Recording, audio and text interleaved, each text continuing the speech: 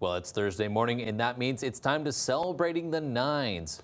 We here at KCAU 9 want to help you celebrate your number nine birthdays. First up is Lily Hogue. She turned nine years old back on September 1st. She was nominated by Chris Gunderson.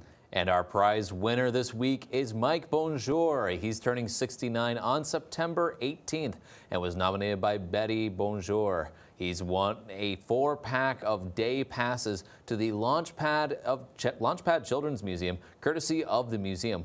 Thank you to all our sponsors and ent entries.